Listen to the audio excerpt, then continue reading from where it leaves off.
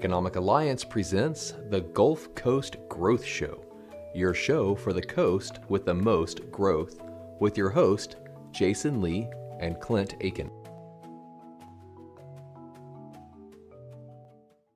All right, and welcome to the Gulf Coast Growth Show. Your show for the coast with the most growth. And I'm Jason Lee, and I'm Clint Akin. and we are he- yeah, we are here with Heather Betancourth.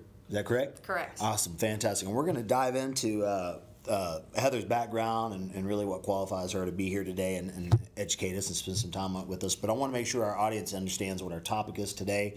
And really, we're, we're, we're, spe- we're speaking specifically to economic development, some of the dynamic things that are happening in our region, uh, the growth, and but specifically a little niche of the, the woods that we call Baytown. So we're excited to, to really dive into that and uh, learn some more about it. So every every little city that's anchored into the Economic Alliance, I think we support 12 cities, four counties, uh, all have a certain amount of pride in their own little uh, piece that uh, that they speak to. So she's a city council woman, and we're excited to hear uh, what she has to say. So with that being said, why don't you give us a little bit of background? I mean, uh, not only your role, but what got you into the role. I think you, you shared a really neat story earlier. and I Both just- roles. Too. We want both Yeah, roles. right. Who are you? You got you got two I do. Right. I, I do have two hats. so um, I am on City Council for the City of Baytown, representing District Four. I was elected in November 2017, so I haven't even finished my first term yet. Um, I also work for Chevron Phillips Chemical in a very community-facing role. Um, public affairs, managing um, the company's image and reputation in the East Harris County area. So um, I do try to separate the two as much as I can, but I mean, let's be honest, it's industry, it's Baytown. I mean, they, they constantly merge and there's constant partnerships. So I actually find that my dual roles serves um, both purposes equally well. So. Now, uh, you shared a really interesting story uh, prior to turning the camera on about kind of your your passion and what led you, and, and now into. I just, I, I'll let you tell it because you told it way better. But why don't you tell us kind of what got you into this chair and where your heart's at? Sure. I think this is um, one of your uh, life doesn't really take the path that you always plan stories. So um, my dream was to be a journalist. Okay. And uh, I was going to be like Woodward and Bernstein, and I was going to uncover like the great you know government scandal and be the community watchdog. And um, and I remember actually one of my college professors telling me um, you weren't going to make a lot of money doing this but you were going to change the world. And I thought that was so amazing and that's who I wanted to be. I wanted to be the person that changed the world and I, I don't care how much you know I got paid. And then reality of course is much different because you're living on your own and your parents aren't paying your bills anymore and suddenly money actually matters. And so I had to switch gears and uh, transitioning to public relations is a is a pretty easy um, turn to make for a journalist. So I went to public relations. It still gave me the capacity to do communication, storytelling, but paid a lot better.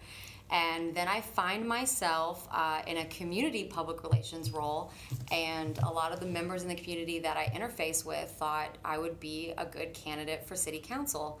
And so it turns out that I'm now able to actually help people and make changes not necessarily in journalism but in government. So it's a it's a funny twist how life takes you sometimes and But you're still able to live out your passion, and that's what's awesome, right? a- absolutely. And your passions change i think as you grow older and mature. So i mean i wanted to make a difference um, and i am. It's just not in the way that i originally thought it was going to be. That's uh, that's I, I just love the story and uh, and I think it's interesting getting to hear all of our guests and when they share you know really where where they're rooted in where their passion lies and how it translates into their impact into our community. I think it's awesome. So, and speaking of communities, I think it's a great way to parlay into a conversation about uh, Baytown and some of the, and so this is your chance to take to share all things Baytown and because I know growing up in the area, uh, you know what, 20 years ago when I you know when I left Deer Park. Uh, I knew of Baytown. Uh, we played Baytown every once in a while, but there wasn't a whole lot stuff in Bay. You know, you could go to Baytown and then you could slide right down and get on the water pretty easily. But that was about it. And now it's. Uh, I mean, uh, I know everybody's trying to get there. So tell us a little bit about what's going on in Baytown. So I would say that your perception of Baytown is spot on. Okay. Um, I grew up in the Spring and Woodlands area, and I remember when I first told my family I was gonna move to Baytown, they all had this look on their face like they had just like sucked a sour lemon, and I thought, golly, like I mean, is it gonna be like that bad? And, and apparently, Baytown's claim to fame to the outside world is industry. Right. Um, it's a very dirty, blue collar uh, industry town, and of course, the 1980s San Jacinto Mall, which in its heyday is long gone now. Right. And so, um, Baytown is is nothing like that perception. And actually, one of the platforms that I ran on for city council, and is probably due to my public relations background, was I wanted to help change that. And um, I started off by being on the Imagine Baytown Committee, which was a committee that the city council at the time uh, had formed of community members to assess what the community wanted Baytown to be in the next five years, and then they would use that to create a five-year strategic plan. Right. And the number one top initiative that our community wanted, and we did surveys and roundtables, and we met with different groups and HOAs and neighborhoods. I mean, we, we talked to as many people as we could. And the number one initiative that came out was change Baytown's image and reputation. Oh, and wow. I thought, well, I am the girl for that job. and so um, it's been my uh, mission and passion ever since then to help change Baytown's image and reputation. So the first thing I want to talk about is um, all that we're doing to bring Baytown into uh, modern life, I guess you would say. So we have a lot of new developments. You know, you you go to the Woodlands, you go to Houston, and you have like the favorite places you like to eat. Um, Right. You know, Salata or Mod Pizza, um, and a lot of people don't know like those those same things are coming to Baytown now. Right. So it's not like you're lacking and you're only going to have you know Luby's or Dairy Queen. We're not really in the sticks anymore. We are a major hub just on the east side of Harris County. Um, I would say the biggest one that we're doing right now is bringing back the mall. So there's a there's a mall crisis across the country if you if you've ever read about it where they're just dying and they just stay there and they almost look like malls from the zombie apocalypse. They're boarded up, no one visits them. There there's nothing being done to change them and our mall was like that. And um, the citizens really wanted the city to do something about the mall. And for those that know, um, the city can't really force a private property owner to do much, especially if they're not violating the law. And so, as much as our citizens wanted us to do something with the mall, we're really limited. I mean, Texas has strong property rights, just just like they should, and so we can't really force the mall owner to Right. make a better mall. So um, the city had to work for a very long time and be very, very creative in getting the mall owner to not only sell to a developer who was interested, but also we had to make it worthwhile to that new developer to invest millions upon millions and revitalizing this Oh, mall. wow.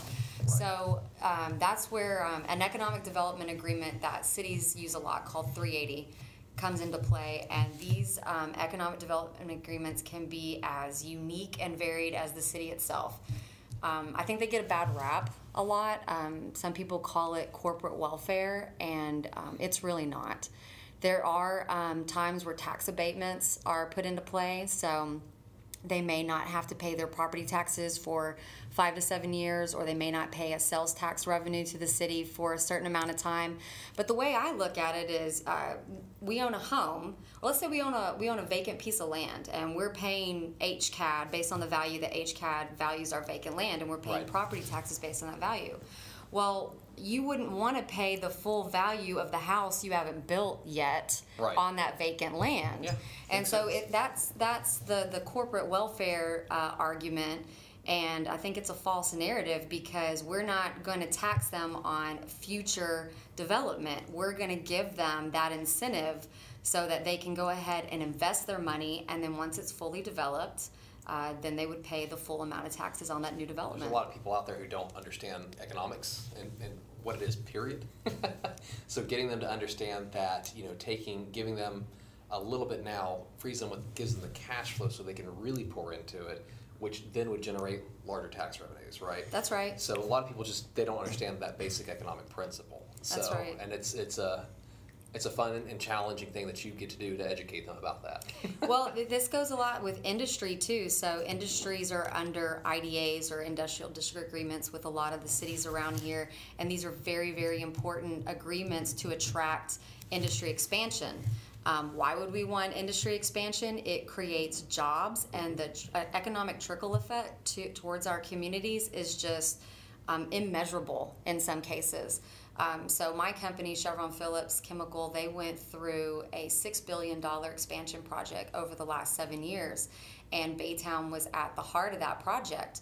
Since that project, in conjunction with ExxonMobil's expansion project, we have seen five new housing developments, Wow. the redevelopment of this Wow. mall, all these new eateries, retail, shopping center. At the city council meeting uh, last night, our planning department was telling us about all the new housing developments that are planned, under construction, or already completed just because of these expansion projects.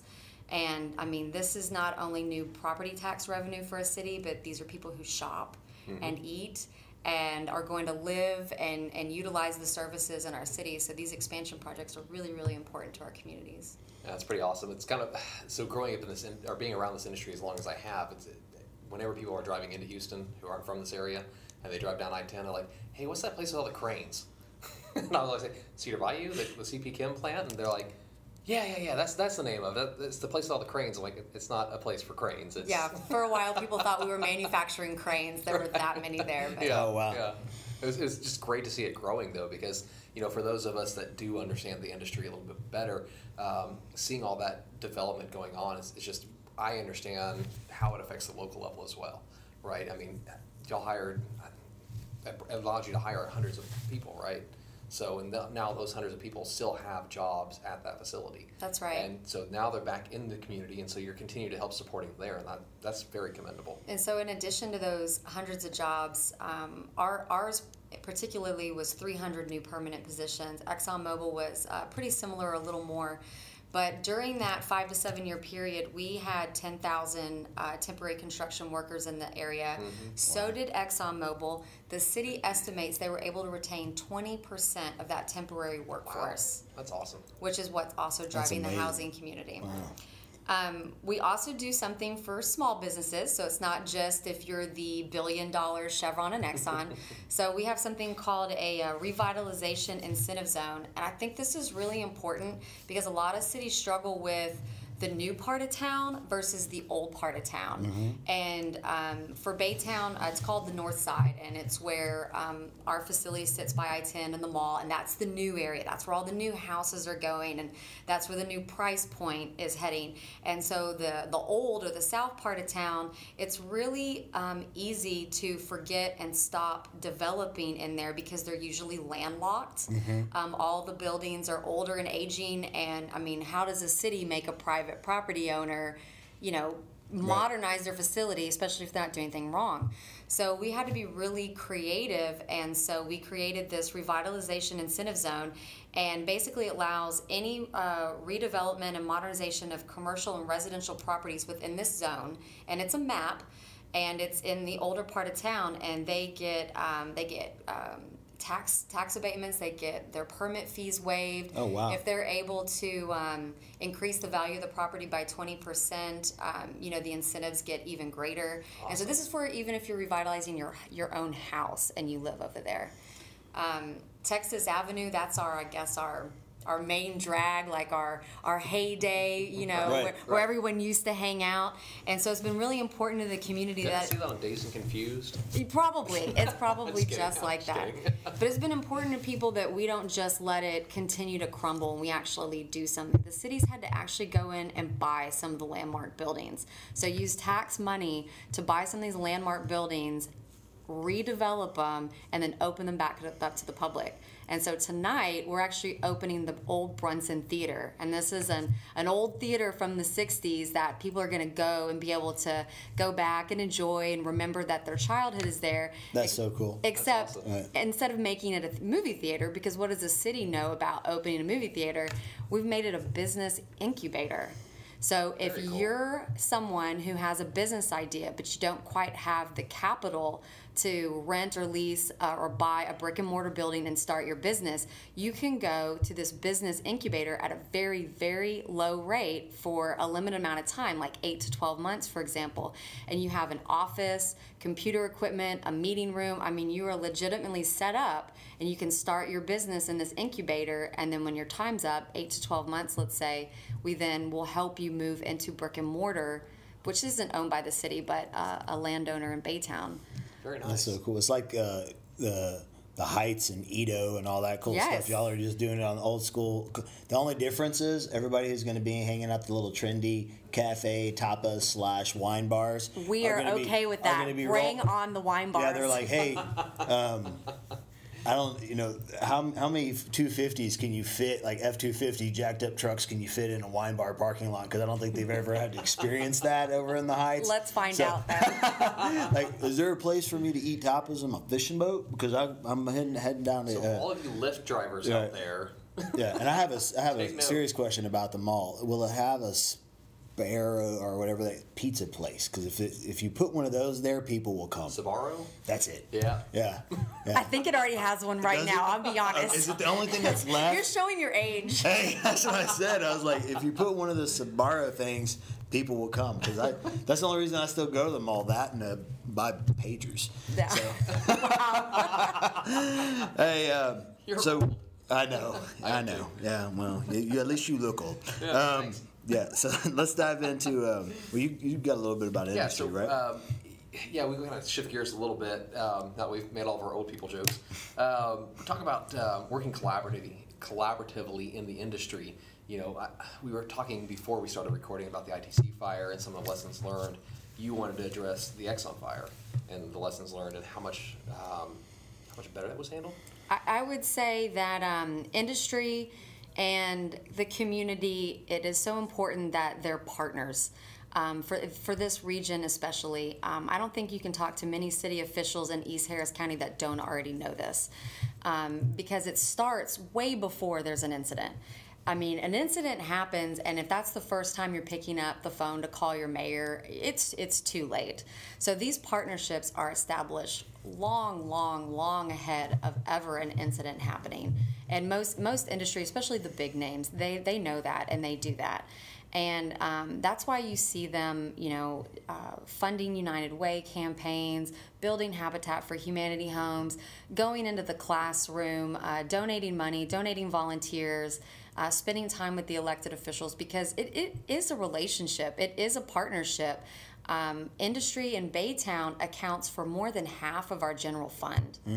That is a big deal. Our general fund is how we pave roads and keep sewer and water lines running and have parks and hike and bike trails. So if industry just suddenly went away because, say, they were in an adverse political climate, um, that would be a major economic hit to our community that, that none of us want to experience. So it's really important that we have a partnership. Now, in no way does you know industry run us, nor you know, nor is it the other way. It, it is it, it is a partnership. So what I'm really proud of with the recent um, fire that happened at ExxonMobil was how the city of Baytown and ExxonMobil quickly came together.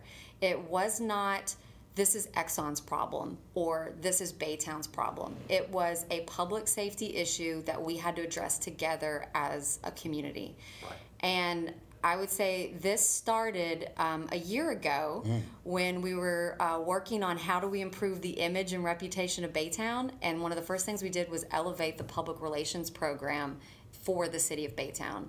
We hired a director. We hired um, a media manager who had uh, Houston television uh, experience. She used to be on Channel 13. Nice. Um, we have um, a community engagement coordinator position we're looking to fill. Just a complete elevation of our PR efforts happened a year ago. And so then when this incident comes, they immediately know the first thing we need to do when Houston TV is descending on our town and, and showing that this, you know, flaming tower is burning into the sky, that we have to tell the story. Because if you're not telling the story for yourself, someone is telling it for you. Absolutely. So within three hours of that fire happening, ExxonMobil and the city of Baytown were having a joint press conference, and I thought it went off well. It was it was honest, it was factual, it was to the point. It, it told the public what they needed to do and not needed to do, what they should worry about and not worry about. I mean, and it was truly um, a public safety message, and and and I think I think it set a new standard for industry in this area on how they will cooperate in the future with local government agencies. We, awesome. well, you know, the thing that's uh, beautiful about this region uh, specifically, and and what you just described, uh, is the collaboration, but more importantly, the fact that um, the the the cities surrounding Baytown will learn from that experience, and so it's not just Baytown and Exxon, but it's going to go out and impact the communication, the awareness, and how probably each city approaches public relations, and and really the awareness to the person who's out there on the other side of the fence that doesn't understand all the great things that are taking place behind the fence to support and protect everybody inside of our communities. I think it's there's so much work that goes into it, and we're getting so great at communicating it. So it's phenomenal to have advocates like yourself uh, there at the city of Baytown to really drive public relations because it's critical. You know, maybe it helps a little bit that they got a PR person on city council. Probably a little, probably some life lessons they were able to learn, which is great. So, um, but let's do this. Uh, now's probably a great time to take a, a, quick commercial break. When we get back, we'll talk specifically about your your role uh, as a female in the position that you're in, and also with your PR background and the impact that it's had. So, we'll take a quick commercial break. Come back and talk about that. McCarthy Building Companies from the Museum of Fine Arts to terminals on the ship channel, we understand the challenges and complexities you face when building here in the Gulf Coast. As the oldest privately held national construction company in the country, we have a clear focus on clients, community, and collaboration.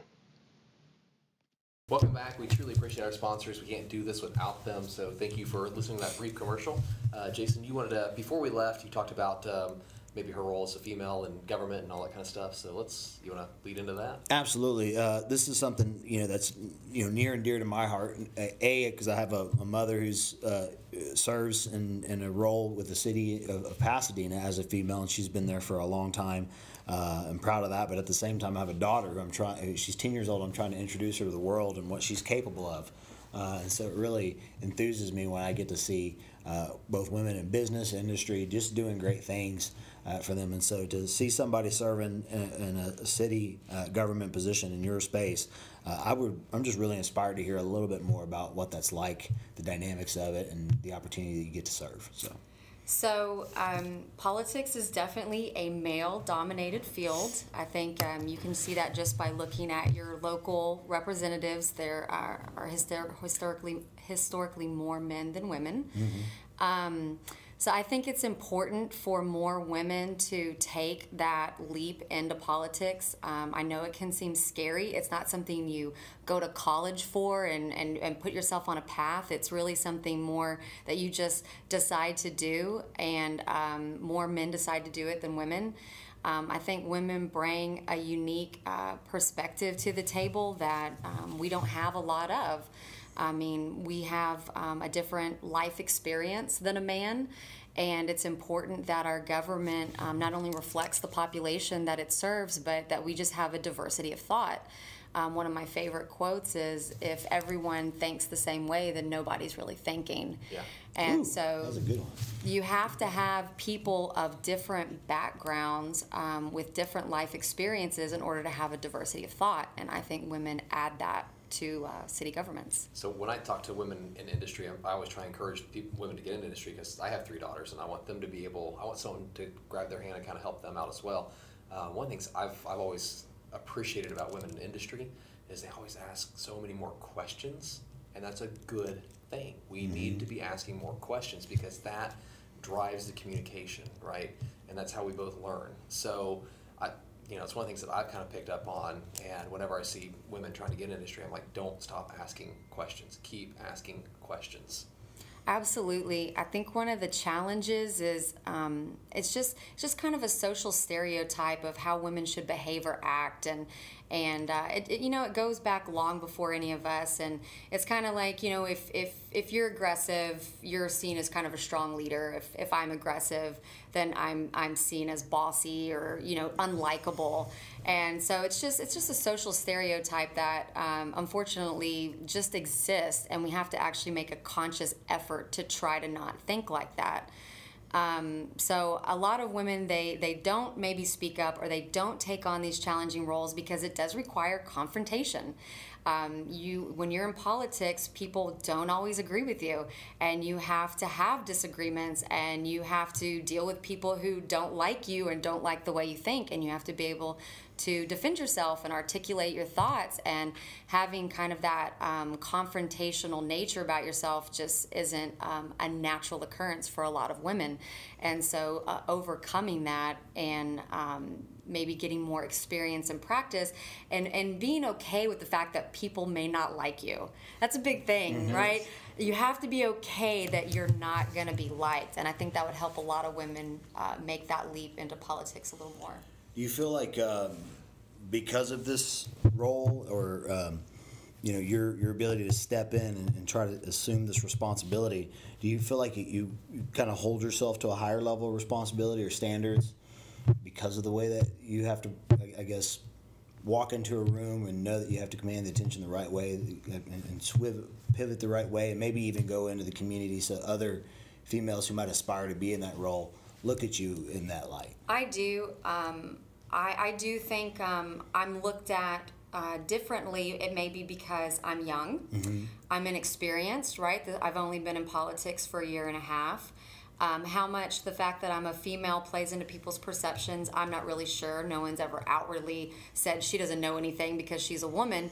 But um, I do, you know, go into every situation uh, assuming I have to prove myself and I have to know what I'm talking about. Um, I have to be able to deal with difficult people. And so every situation I go into, I'm probably harder on myself than people are actually hard on me. But um, but I feel like I, I, have to be that like that because there's not there's not enough of us out there, and so um, when you're putting yourself out there and you're one of the first ones, you really can't screw it up for everyone that comes behind you. So right, quite right. a responsibility. Yeah, no, it is right. You you you're if you're pioneering or, or stepping out in front, then that means you got to carve the right path, right, for people to follow you. So, exactly. and I applaud you for your efforts. It's amazing to see. Thank you. So, Clint. So, now we kind of change the tone of the show a little bit. We want to know a little bit more about you. So, um, you know, we know what you've done, we know who you work with, we know who you're working for, um, which is awesome. But um, what what motivates you? What does drive you? What gives you that that fire in the belly, which you clearly have, that says, "Hey, I'm I'm going to get this done." I would say I'm naturally an overachiever and that may or may not be a compliment depending on who you ask. so I'm the kind of person where I'm given a task or a project and I'm probably doing 10 times more than you actually needed me to do. Um, so I'd say I apply that to basically all aspects of my life. If you ask my husband and my kids, how vacations are, they would tell you that I have it planned months in advance. I know exactly what we're all going to uh. wear and where we're going to go and what we're going to do. And you know, sometimes they wish they could just chill, but uh, that you know that's just not who I oh, am. It's over. They had a great time. The, you right? know, they always do. Thank you very much. They have a great time. They're so, like trucking behind the mountain, dragging bags, and you're like, "You will thank me when you get older." And they're like, "Oh God, mom, I just want to." Well, I'm always looking for like the things to do that no one else is doing. You know, like yeah. the, the non-touristy places to go, and they're like, "Why are we on this weird hike?" So, so but yeah, right. It's not a sunburn; it's burns they, of joy. They love it. They love That's it. That's awesome. That's amazing. Um, what else? So you talked. Uh, I know. I know you a little bit before the show. You talked a little bit about some of the things that Im- impacted you, that kind of led you to your success. I know you're an overachiever, but are there some experiences that you had that maybe are contributing factors that have also put you in the position that you're in? Absolutely. So um, I would say early on, some of the mistakes that I made um, was having such tunnel vision on the path that my life was supposed to go. And I think a lot of women make this mistake and they have it planned out by 25 I'm going to be doing this and by 30 I'm going to be married and by 33 I'm going to have two and a half 2.5 kids and live in a house and then I'm going to get my promotion by this age. And life just doesn't work that way. And when we have this kind of tunnel vision uh, we really miss out on these opportunities um, that present themselves to us that really could take us where we want to go. It's just not on the path that we planned. Wow. So, one of the things that I've learned recently is I, I say yes to almost every opportunity that comes my way, no matter how weird or like not part of the plan it seems to be like getting invited to do this podcast. so that was just a happenstance, and I had never thought about doing a podcast or talking about myself. But it, it's a really enjoyable experience, and who, awesome. who knows what will come of it. So, Right. Wow. so say say yes to opportunities and get out of your tunnel vision. So, is there any way after this, you, that whole, you don't have to plan everything, babies, everything has to happen at one time? So, I've only been married for about a year now. So, if I could just get you to record that on Facebook Live for my wife, that'd be fantastic. No, I'm just kidding. No, it's true. A lot of women. And I'm gonna sleep on the couch Yeah, for that. yeah, you So- will. a lot of a lot of women Edit, fall into please. that. yeah, right. Can we edit that out? Um, she no, she gets me. Um, but yeah, I think that's uh, that's a great way to, to end the show, which is say yes, right? Don't be afraid. Uh, we we had another guest earlier uh, today uh, that'll come out uh, on a, on a separate episode, but his key to success was very similar. And I think we'll hear the same underlying undertone. You can't be afraid. to Take on new things or box yourself into a certain place, and uh, it's easy that you. It's obvious based on how much you've done and what you've already accomplished and um, you know in your at your age where you're at what you're doing that you're not inside the box you're able to get outside the box Yeah, so you mentioned no fear. That is a huge one. Uh, don't be afraid. So when I was approached to run for government, I'd never ever thought about being in government, running a campaign, getting political, and I had to say to myself, don't be afraid. Uh, just just do it. And and so just because an opportunity comes that's strange, or you think you can't do it, or you're not qualified, uh, you're probably just talking yourself out of it. So uh, no fear, and definitely say yes. fantastic That's awesome. well with that let's uh let's wrap up the show and, and really finish with the attitude of gratitude and what we're thankful for uh, first of all heather we really appreciate you coming on the show today um, it's just been a pleasure and a delight to be around you um, I think what you what you're doing, I, and I know as we continue to get out to more events and do more things with Economic Alliance, I'm probably going to get to see you more often and get connected. But it's exciting to have met you today and had you out on the show. Um, so, Clint, why not why not fire away with your attitude of gratitude? What are you thankful for today? That's a great question. Um, you know, I- we were talking about kids, right? You were talking about taking your kids on vacation and stuff like that. Um, I'm really grateful that my your kids do force you out of your comfort zones, right? Uh, we, we have these little set patterns and set ways we like doing things, and then kids just completely take that and throw it a different direction.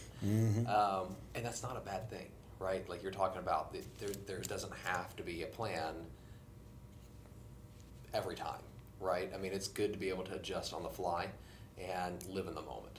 So I'm just grateful because I had some opportunities to do that recently, just kind of enjoy the moment, not have something that was, you know, planned and, and let them lead. Um, it's, it's just been kind of interesting. So Wow. Um, I like how you led with that's a great question, as if we didn't ask it at the end of every episode, but um, because it was very stoic. It like I was like, huh, what's he thinking? Um, I'm grateful, uh, really for. I, I think most specifically, I was giving her a hard time earlier, but my wife. So she's uh, she she challenges me to be better on a consistent basis. Um, I'm constantly having to pivot and try to improve uh, how uh, my, how I communicate and how I grow uh, because of her, and so I'm thankful for that opportunity to get to be and do life with her. I am also thankful for my spouse, Robert. Um, he's a very supportive partner, and I don't mean supportive like like my cheerleader, like go babe, yeah. He's supportive in when when I'm at work all day and then at city council all night. He's the one at home cooking for the kids, doing the laundry, um, helping them with their homework, feeding the dogs.